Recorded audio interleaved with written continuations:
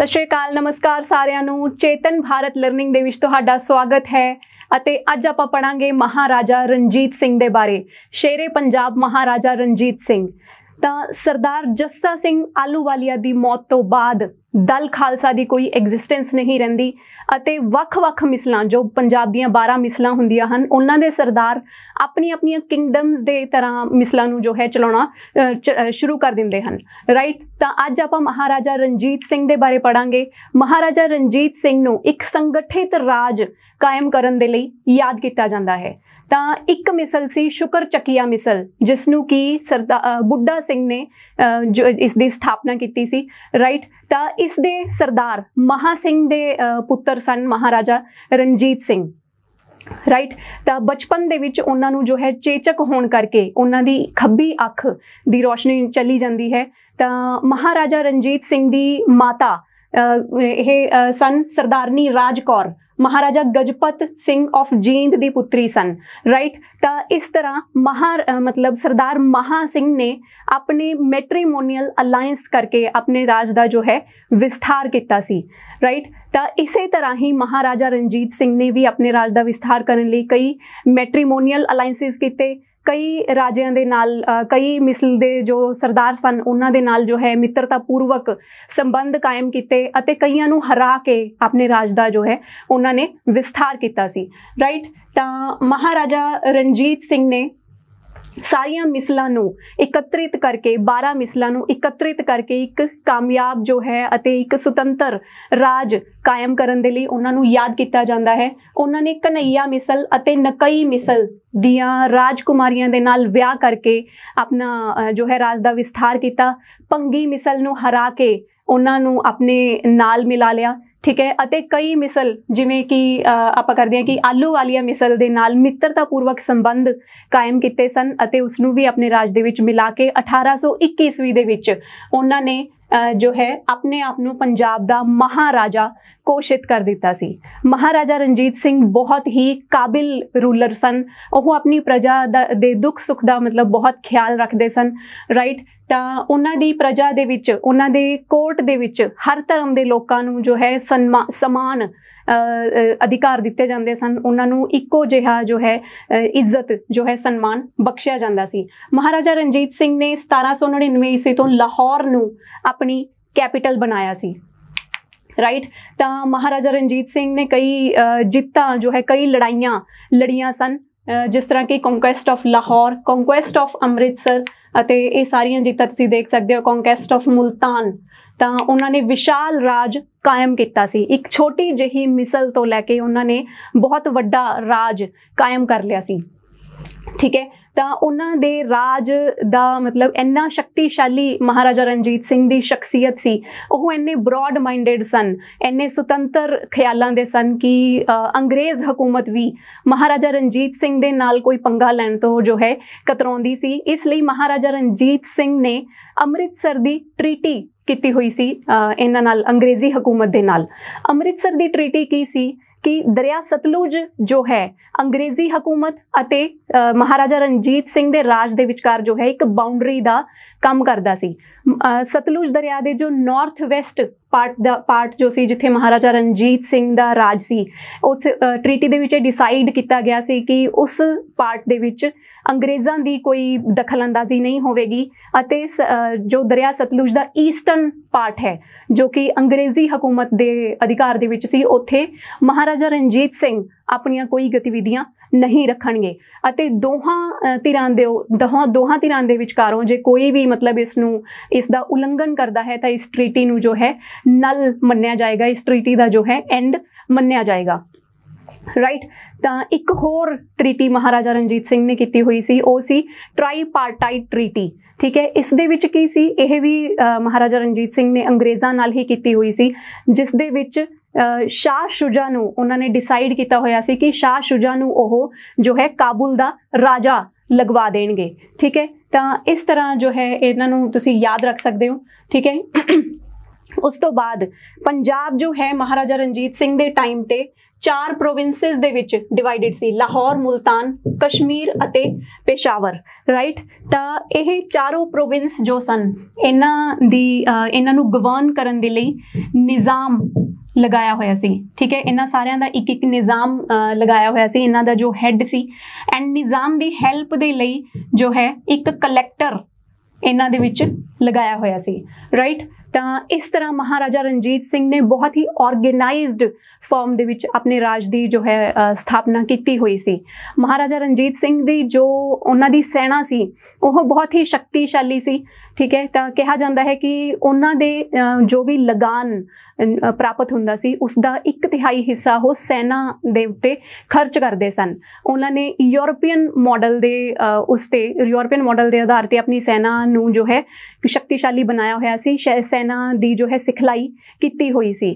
Napoleon Bonaparte ਦੀ ਜੋ ਭੰਗ ਕੀਤੀ ਹੋਈ ਸੈਨਾ ਸੀ, ਉਸ ਦੇ ਵਿੱਚੋਂ ਦੋ ਅਫਸਰ, ਮਹਾਰਾਜਾ ਰਾਜਾ ਰਣਜੀਤ ਸਿੰਘ ਨੇ ਆਪਣੀ ਸੈਨਾ ਦੀ ਸਿਖਲਾਈ ਦੇ ਲਈ ਬੁਲਾਏ ਸਨ। ਠੀਕ ਹੈ? ਉਹਨਾਂ ਦੇ ਨਾਮ ਤੁਸੀਂ ਯਾਦ ਰੱਖਣੇ ਨੇ Jean Baptiste Ventura and Jean Francois Allard ਠੀਕ ਹੈ?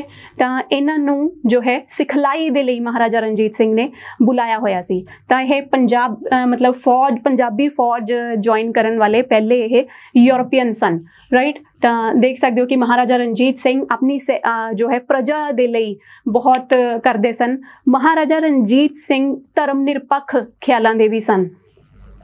ਉਹਨਾਂ ਨੇ ਜੋ ਹੈ ਬਹੁਤ ਕਈ ਮੰਦਰਾਂ ਦੇ ਵਾਸਤੇ ਕਈ ਮੰਦਰਾਂ ਦੀ ਸਥਾਪਨਾ ਕਰਵਾਈ, ਕਈ ਮੰਦਰਾਂ ਦੇ ਵਿੱਚ ਉਹਨਾਂ ਨੇ ਜੋ ਹੈ ਸੋਨਾ ਦਾਨ ਕੀਤਾ, ਜਿਵੇਂ ਹਿਮਾਚਲ ਦੇ ਕਾਂਗੜਾ ਮੰਦਿਰ ਦੇ ਵਿੱਚ ਜਵਾਲਾਮੁਖੀ ਮੰਦਿਰ ਦੇ ਵਿੱਚ ਉਹਨਾਂ ਨੇ ਜੋ ਹੈ ਸੋਨਾ ਦਾਨ ਕੀਤਾ ਸੀ।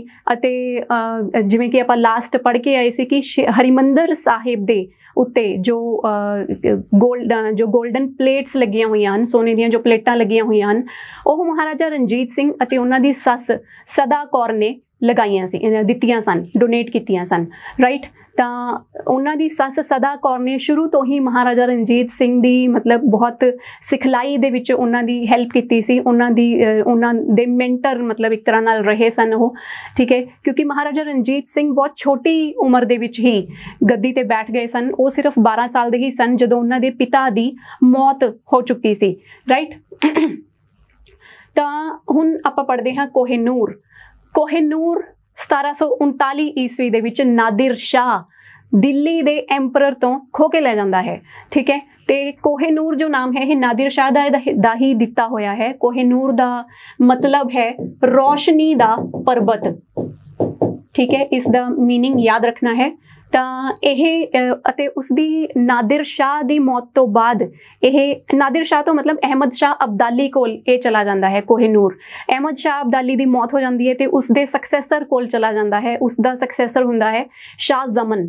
ਠੀਕ ਹੈ, ਸ਼ਾਹ ਜ਼ਮਨ ਦਾ ਭਰਾ ਹੁੰਦਾ ਹੈ ਸ਼ਾਹ ਸ਼ੁਜਾ।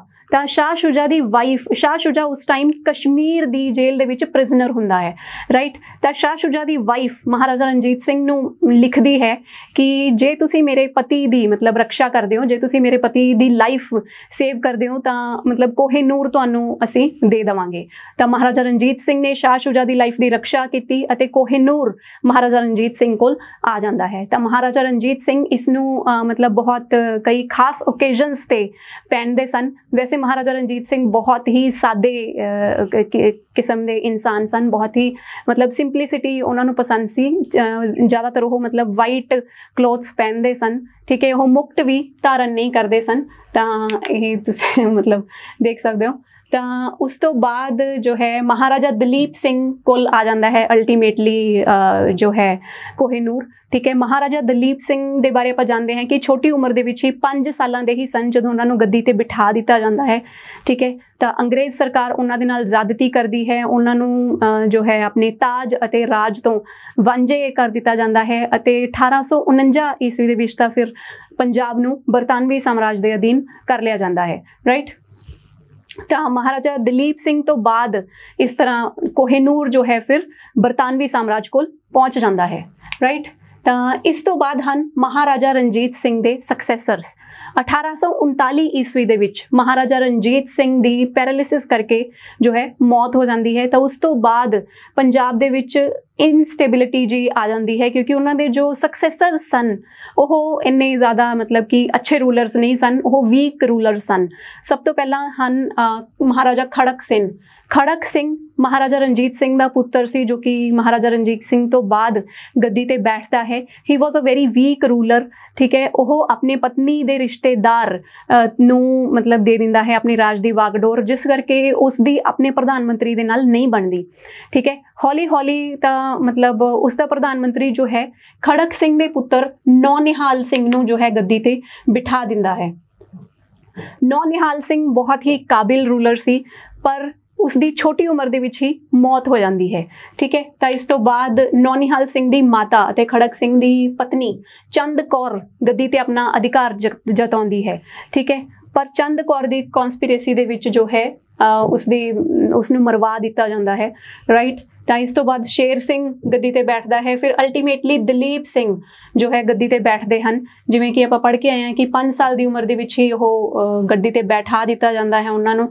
ਠੀਕ ਹੈ? ਐਂਡ ਅਲਟੀਮੇਟਲੀ ਉਸ ਤੋਂ ਬਾਅਦ ਦੋ ਐਂਗਲੋ ਸਿੱਖ ਵਾਰਸ ਹੁੰਦੀਆਂ ਹਨ ਅਤੇ ਪੰਜਾਬ ਨੂੰ ਬਰਤਾਨਵੀ ਸਾਮਰਾਜ ਦੇ ਅਧੀਨ ਕਰ ਲਿਆ ਜਾਂਦਾ ਹੈ। ਤਾਂ ਫਰਸਟ ਐਂਗਲੋ ਸਿੱਖ ਵਾਰ ਦੇ ਬਾਰੇ ਆਪਾਂ ਪੜ੍ਹਦੇ ਹਾਂ। ਫਰਸਟ ਐਂਗਲੋ ਸਿੱਖ ਵਾਰ ਦੇ ਵਿੱਚ ਸਭ ਤੋਂ ਪਹਿਲਾਂ ਸੀ battle of Mudki battle of Mudki ਦੇ ਵਿੱਚ ਅੰਗਰੇਜ਼ਾਂ ਦੀ ਅਗਵਾਈ ਕਰ ਰਹੇ ਸਨ ਸਰ ਹਿਊਗੋ ਅਤੇ ਸਿੱਖਾਂ ਦੀ ਅਗਵਾਈ ਕਰ ਰਹੇ ਸਨ ਲਾਲ ਸਿੰਘ ਅਤੇ ਸ਼ੇਰ ਸਿੰਘ। ਠੀਕ ਹੈ? ਤਾਂ ਲਾਲ ਸਿੰਘ ਅਤੇ ਸ਼ੇਰ ਸਿੰਘ ਦੀ ਧੋਖੇ ਦੇ ਕਾਰਨ ਉਹ ਆਪਣੀ ਸੈਨਾ ਦੇ ਨਾਲ ਆਪਣੇ ਜੋ ਹੈ ਸਿੱਖਾਂ ਦੇ ਨਾਲ ਧੋਖਾ ਕਰਦੇ ਹੈ। ਅਦਰਵਾਈਜ਼ ਤਾਂ ਮਤਲਬ ਸਿੱਖ ਬਹੁਤ ਹੀ ਬਹਾਦਰੀ ਦੇ ਨਾਲ ਲੜੇ। ਪਰ ਇਹਨਾਂ ਦੀ ਤਾਂ ਇਹਨਾਂ ਦੇ ਦਿੱਤੇ ਧੋਖੇ ਦੇ ਕਾਰਨ ਸਿੱਖਾਂ ਨੂੰ ਹਾਰ ਦਾ ਸਾਹਮਣਾ ਕਰਨਾ ਪੈਂਦਾ ਹੈ। ਠੀਕ ਹੈ? ਇਸੇ ਤਰ੍ਹਾਂ ਬੈਟਲ ਆਫ ਫਿਰੋਜ਼ ਸ਼ਹਿਰ ਦੇ ਵਿੱਚ ਹੁੰਦਾ ਹੈ। ਇੱਥੇ ਵੀ ਲਾਲ ਸਿੰਘ ਅਤੇ ਸ਼ੇਰ ਸਿੰਘ ਜੋ ਹੈ ਆਪਣੀ ਸੈਨਾ ਦੇ ਨਾਲ ਧੋਖਾ ਕਰਦੇ ਆ, ਜਿਸ ਕਰਕੇ ਉਹਨਾਂ ਨੂੰ ਡਿਫੀਟ ਦੀ ਡਿਫੀਟ ਦਾ ਸਾਹਮਣਾ ਕਰਨਾ ਪੈਂਦਾ ਹੈ। ਉਸ ਤੋਂ ਬਾਅਦ ਹੈ battle of Baddowal battle of Baddowal ਦੇ ਵਿੱਚ ਸਰ ਹੈਨਰੀ ਸਮਿਥ ਅੰਗਰੇਜ਼ਾਂ ਦੀ ਤਰਫੋਂ ਅਗਵਾਈ ਕਰਦੇ ਹੈ ਅਤੇ ਰਣਜੋਤ ਸਿੰਘ ਮਜੀਠੀਆ ਸਿੱਖਾਂ ਦੀ ਅਗਵਾਈ ਕਰਦੇ ਹਨ ਅਤੇ ਲੁਧਿਆਣਾ ਤੇ ਅਟੈਕ ਕਰ ਦਿੰਦੇ ਹਨ। ਸਰ ਹੈਨਰੀ ਸਮਿਥ ਉਹਨਾਂ ਨੂੰ ਜੋ ਹੈ ਰੈਜ਼ਿਸਟ ਕਰਨ ਦਾ ਬਹੁਤ ਹੀ ਆਪਣਾ ਪੂਰਾ ਜ਼ੋਰ ਅਜ਼ਮਾਇਸ਼ ਕਰਦੇ ਹਨ, ਪੂਰੀ ਜ਼ੋਰ ਲਗਾਉਂਦੇ ਹਨ, ਪਰ ਸਰ ਹੈਨਰੀ ਸਮਿਥ ਨੂੰ ਰਣਜੋਤ ਸਿੰਘ ਮਜੀਠੀਆ ਦੀ ਸੈਨਾ ਜੋ ਹੈ ਹਰਾ ਦਿੰਦੀ ਹੈ ਰਾਈਟ ਤਾਂ ਉਸ ਤੋਂ ਬਾਅਦ ਹੈ battle of Aliwal now Henry Smith ਹੁਣ ਸਿੱਖਾਂ ਨੂੰ ਜੋ ਹੈ ਹਰਾ ਦਿੰਦਾ ਹੈ ਰਾਈਟ ਇਸ ਦੇ ਵਿੱਚ ਸਿੱਖਾਂ ਦੀ ਹਾਰ ਹੁੰਦੀ ਹੈ। ਤਾਂ ਉਸ ਤੋਂ ਬਾਅਦ ਹੈ ਬੈਟਲ ਆਫ ਸਬਰਾਉਂ ਇਹ ਡਿਸੀਸਿਵ ਬੈਟਲ ਹੁੰਦੀ ਹੈ ਜਿਸ ਦੇ ਵਿੱਚ ਵੀ ਸਿੱਖਾਂ ਦੀ ਸਿੱਖਾਂ ਨੂੰ ਹਾਰ ਦਾ ਸਾਹਮਣਾ ਕਰਨਾ ਪੈਂਦਾ ਹੈ। Again for the same reason Tej Singh ਅਤੇ ਲਾਲ ਸਿੰਘ ਆਪਣੀਆਂ ਸੈਨਾ ਦੇ ਨਾਲ ਧੋਖਾ ਕਰਦੇ ਹਨ। ਠੀਕ ਹੈ, ਸ਼ਾਮ ਸਿੰਘ ਅਟਾਰੀ ਵਾਲਾ ਬਹੁਤ ਬਹਾਦਰੀ ਨਾਲ ਲੜਦਾ ਹੈ, ਪਰੰਤੂ ਆਪਣੇ ਆਗੂਆਂ ਦੇ ਦਿੱਤੇ ਧੋਖੇ ਦੇ ਕਾਰਨ ਸਿੱਖਾਂ ਨੂੰ ਹਾਰ ਦਾ ਮੂੰਹ ਦੇਖਣਾ ਪੈਂਦਾ ਹੈ। ਉਸ ਤੋਂ ਬਾਅਦ ਕਰਦੇ ਹਾਂ ਆਪਾਂ second Anglo Sikh war second Anglo Sikh war ਦੇ ਵਿੱਚ ਸਭ ਤੋਂ ਪਹਿਲਾਂ ਹੈ ਬੈਟਲ ਆਫ ਰਾਮਨਗਰ ਜਿਸ ਦੇ ਵਿੱਚ ਹਿਊਗੋ ਅੰਗਰੇਜ਼ਾਂ ਦੀ ਅਗਵਾਈ ਕਰਦੇ ਹਨ ਅਤੇ ਸ਼ੇਰ ਸਿੰਘ ਅਟਾਰੀ ਵਾਲਾ ਸਿੱਖਾਂ ਦੀ ਅਗਵਾਈ ਕਰਦੇ ਹਨ। ਸ਼ੇਰ ਸਿੰਘ ਅਟਾਰੀ ਵਾਲਾ ਬਹੁਤ ਵੀਰਤਾ ਦੇ ਨਾਲ ਲੜਦੇ ਹੋਏ ਆਪਣੀ ਸੈਨਾ ਨੂੰ ਜੋ ਹੈ ਜਿੱਤ ਪ੍ਰਾਪਤ ਕਰਵਾਉਂਦੇ ਹਨ ਅਤੇ ਅੰਗਰੇਜ਼ਾਂ ਦੀ ਇਸ ਦੇ ਵਿੱਚ ਹਾਰ ਹੁੰਦੀ ਹੈ। Same for battle of Chillianwala ਅੰਗਰੇਜ਼ਾਂ ਦੀ ਇਸ ਦੇ ਵਿੱਚ ਵੀ ਹਾਰ ਹੁੰਦੀ ਹੈ ਬੈਟਲ ਆਫ ਚਿਲੀਆਂ ਵਾਲਾ ਦੇ ਵਿੱਚ ਅਤੇ ਹੁਣ ਤੱਕ ਦੀ ਸਭ ਤੋਂ ਬੁਰੀ ਤਰ੍ਹਾਂ ਹਾਰ ਅੰਗਰੇਜ਼ਾਂ ਦੀ ਬੈਟਲ ਆਫ ਚਿਲੀਆਂ ਵਾਲਾ ਦੇ ਵਿੱਚ ਹੁੰਦੀ ਹੈ। ਜਦੋਂ ਤੋਂ ਉਹ ਮਤਲਬ ਭਾਰਤ ਦੇ ਵਿੱਚ ਆਉਂਦੇ ਹੈ, ਸਭ ਤੋਂ ਬੁਰੀ ਹਾਰ ਉਹਨਾਂ ਨੂੰ ਦੇਖਣੀ ਪੈਂਦੀ ਹੈ ਬੈਟਲ ਆਫ ਚਿਲੀਆਂ ਵਾਲਾ ਦੇ ਵਿੱਚ। ਠੀਕ ਹੈ? ਤਾਂ ਇਸ ਦਾ ਨਾਮ ਤੁਸੀਂ ਜੋ ਹੈ ਯਾਦ ਰੱਖ ਸਕਦੇ ਹੋ। ਇਸ ਤੋਂ ਬਾਅਦ ਜੋ ਹੈ, ਆਪਾਂ ਕਰਦੇ ਹਾਂ battle of Multan battle of Multan ਦੇ ਵਿੱਚ ਸਿੱਖਾਂ ਨੂੰ ਹਾਰ ਦਾ ਮੂੰਹ ਦੇਖਣਾ ਪੈਂਦਾ ਹੈ। ਨੈਕਸਟ ਹੈ battle of Gujrat battle of Gujrat ਦੇ ਵਿੱਚ ਵੀ ਸਿੱਖਾਂ ਦੀ ਹਾਰ ਹੁੰਦੀ ਹੈ ਰਾਈਟ ਇਹ ਚਨਾਬ ਦਰਿਆ ਦੇ ਕੰਢੇ ਤੇ ਆਪਾਂ ਦੇਖ ਸਕਦੇ ਹਾਂ ਕਿ ਇਹ ਹੁੰਦੀ ਹੈ, ਠੀਕ ਹੈ? ਤਾਂ ਬੈਟਲ ਆਫ ਗੁਜਰਾਤ ਦੇ ਵਿੱਚ ਕੀ ਖਾਸ ਗੱਲ ਸੀ ਕਿ ਦੋਨਾਂ ਧਿਰਾਂ ਦੇ ਵੱਲੋਂ ਬੰਦੂਕਾਂ ਦੀ ਵਰਤੋਂ ਕੀਤੀ ਜਾਂਦੀ ਹੈ। ਸਿੱਖ ਅਤੇ ਅੰਗਰੇਜ਼ ਦੋਨਾਂ ਸੈਨਾਵਾਂ ਵੱਲੋਂ ਜੋ ਹੈ ਬੰਦੂਕਾਂ ਦੀ ਬਹੁਤ ਵੱਡੀ ਗਿਣਤੀ ਦੇ, ਬਹੁਤ ਵੱਡੀ ਗਿਣਤੀ ਦੇ ਵਿੱਚ ਬੰਦੂਕਾਂ ਦੀ ਵਰਤੋਂ ਕੀਤੀ ਜਾਂਦੀ ਹੈ, ਜਿਸ ਕਰਕੇ ਇਸ ਨੂੰ ਬੈਟਲ ਆਫ ਗਨਜ਼ ਕਿਹਾ ਜਾਂਦਾ ਹੈ। ਰਾਈਟ ਤਾਂ ਇਹ ਯਾਦ ਰੱਖਣਾ ਕਿ ਬੈਟਲ ਆਫ ਗਨਜ਼ ਕਿਸ ਬੈਟਲ ਦਾ ਨਾਮ ਸੀ, ਤਾਂ ਬੈਟਲ ਆਫ ਗੁਜਰਾਤ ਨੂੰ ਬੈਟਲ ਆਫ ਗਨਜ਼ ਦੇ ਨਾਮ ਨਾਲ ਜਾਣਿਆ ਜਾਂਦਾ ਹੈ। ਰਾਈਟ ਤਾਂ ਇਸ ਤੋਂ ਬਾਅਦ ਦੋ ਐਂਗਲੋ ਸਿੱਖ ਵਾਰਸ ਦੇ ਵਿੱਚ ਮਤਲਬ ਕਿ ਹਾਰ ਦਾ ਸਾਹਮਣਾ ਕਰਨ ਤੋਂ ਬਾਅਦ ਜਦੋਂ ਦੂਸਰੀ ਐਂਗਲੋ ਸਿੱਖ ਵਾਰ ਦੇ ਵਿੱਚ ਸਿੱਖਾਂ ਨੂੰ ਹਾਰ ਦਾ ਸਾਹਮਣਾ ਕਰਨਾ ਪੈਂਦਾ ਹੈ ਤਾਂ ਉਸ ਤੋਂ ਬਾਅਦ ਸਿੱਖਾਂ ਕੋਲ ਇੰਨੀ ਤਾਕਤ ਨਹੀਂ ਬਚਦੀ ਕਿ ਉਹ ਬਰਤਾਨਵੀ ਸਾਮਰਾਜ ਦਾ ਮੁਕਾਬਲਾ ਕਰ ਸਕਣ। ਤਾਂ ਇਸ ਕਰਕੇ ਲਾਰਡ ਡਲਹੌਜ਼ੀ 1849 ਈਸਵੀ ਦੇ ਵਿੱਚ ਇੱਕ ਐਲਾਨ ਦੇ ਰਾਹੀਂ ਪੰਜਾਬ ਨੂੰ ਜੋ ਹੈ ਬਰਤਾਨਵੀ ਸਾਮਰਾਜ ਦੇ ਵਿੱਚ ਮਿਲਾ ਲੈਂਦਾ ਹੈ। ਰਾਈਟ ਤਾਂ ਸੋ ਅੱਜ ਇੰਨਾ ਹੀ। Thank you so much